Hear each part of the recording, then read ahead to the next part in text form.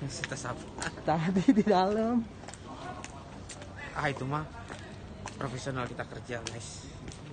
Berarti nggak ada dalam rangka apa-apa nih bang ya? Enggak lah. Itu mah cuma apa ya, perform di atas panggung. Gue seru-seruan. Terus juga kayak adegan ngambil cincin di apa ya di kotak yang ada ularnya Hmm. ya seolah-olah takut gitu loh supaya Kita kan dibayar buat di sketsa. biar bisa berbagi kan karena ada tiga clue Hmm. maco eh, berbagi sama setia Iya. jadi seolah-olah maco terus ini ini kita takut biar kita eh, ditolongin orang dan akhirnya kita berbagi terus setia dikasih pertanyaan sama kambing itu aja sih ya ini mah sebuah apa ya profesional kita kerja guys Anda tadi benar tadi takut ondel-ondel man.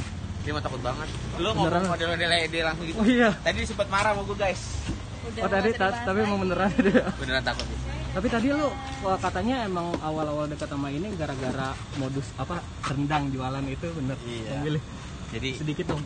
jadi gue tuh nawarin rendang waktu gue ketemu sama dia tuh ngobrolin masalah makanan karena kan dia suka makan terus ngobrolin masalah pekerjaan terus ngobrolin diri dia sendiri sama sebaliknya gue juga nah tiba-tiba ya udahlah.